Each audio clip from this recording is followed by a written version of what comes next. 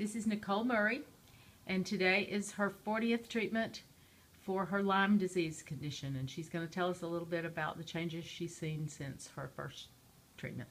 Okay. Um, when I first started, I was in a lot of pain and really couldn't do much.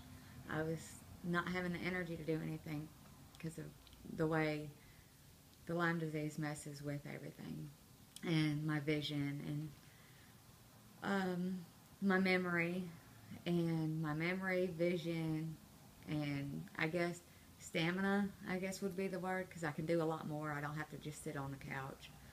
Um, my pain's gone away. I went from being on two pain medicines to now I'm not taking anything at all. Ibuprofen's working good.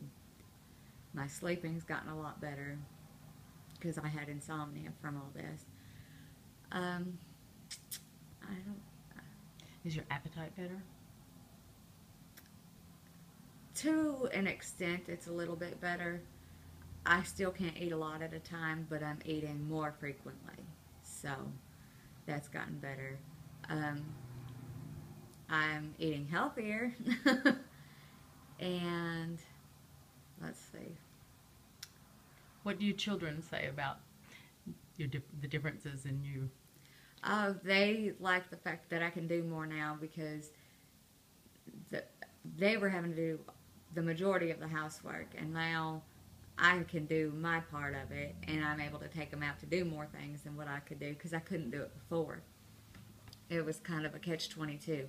I wanted to do it, but I couldn't, and now I can, so they're really happy about it.